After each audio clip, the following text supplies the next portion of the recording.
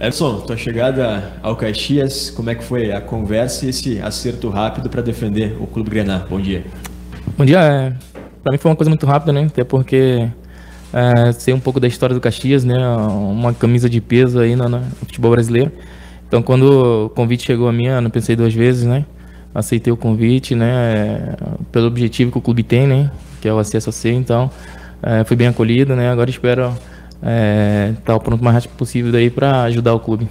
Tu és um segundo volante, tem característica de fazer bastante gols, também estava fazendo no teu clube anterior. Como é que tu pode se descrever para o torcedor do Caxias e também tu era um dos líderes do elenco, né, o capitão da equipe? Sim, sim, uh, era capitão lá na, na equipe Nova Vénécia, né? Uh, sou um cara que, que chego bastante na área ali, né? Procuro uh, aqueles espaços ali que, que às vezes o, o marcador não, não consegue acompanhar, né? É, espero também é, ajudar muito o Caxias aí, né? Deus quiser com gols e com o objetivo do clube que é o acesso à Série C.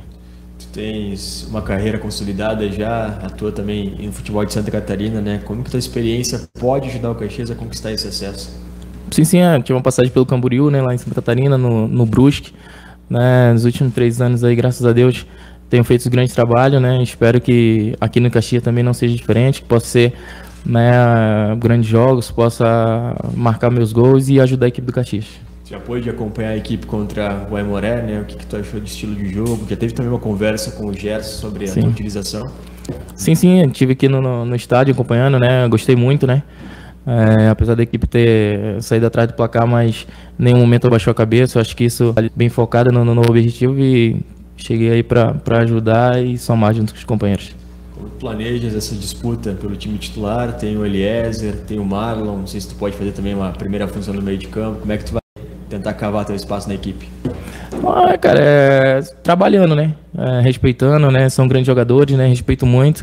Mas eu fui contratado aqui para ajudar o clube, né? E todo o apoio vou, vou dar a eles e também quando surgir a oportunidade é poder estar pronto e ajudar o clube. Como é que tá se sentindo? Tá pronto para caso haja necessidade de ser utilizado em Concórdia?